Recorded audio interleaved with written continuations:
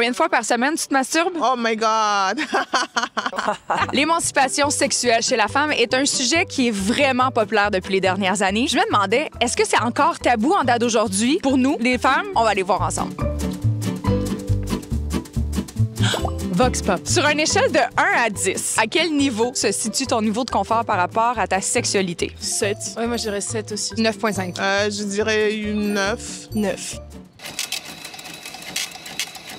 7. J'ai aimé le temps de réflexion. Je suis pas une experte du sexe, j'aime la vie sexuelle. Est-ce que tu as l'impression que tu as eu des lacunes par rapport à ton apprentissage? Moi, je suis allée à une école de filles et on a quand même bien été éduqués là-dessus. J'ai même lu un livre sur comment faire l'amour à un homme. Au secondaire, il y a une certaine forme d'éducation, mais c'est vraiment basique. No known cure for heterosexuality. Surtout par rapport à la femme, des pertes blanches. Je sais pas c'est quoi, personne n'en parle autour de toi. Tu sais, on se sent un peu extraterrestre.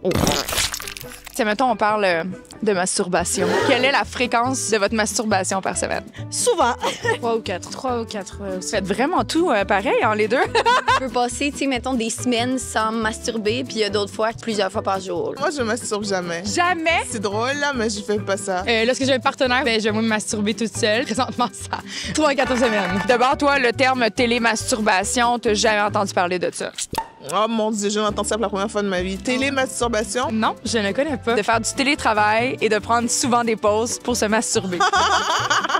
Ok, je connaissais pas du tout. Oh, wow. OK, ça a dû m'arriver. Euh, non, pas tant? Euh, non. Je travaille pas de la maison, fait que c'est compliqué, là. Il manquait quelque chose. Est-ce que tu considères que la sexualité féminine est encore très tabou? J'ai comme eu un tabou avec euh, ma mère. J'ai appris à en parler. C'est assez ouvert avec ma mère, c'est assez ouvert avec mon frère. Je pense qu'il y a encore du chemin à faire, définitivement. Les hommes qui vont souvent juger les femmes bon, qui ont eu plusieurs partenaires, qui vont parler ouvertement de, de, de leur sexualité. Par contre, j'ai eu des très bons partenaires aussi ouverts à la discussion qui, qui, qui étaient beaucoup plus euh, éduqués. À deux, c'est mieux. Ça dépend quand t'es servi tout croche, des fois t'es mieux toute seule. C'est sûr qu'il me reste des choses à découvrir sur mon corps. Mais c'est ça qui est le fun aussi, tu sais.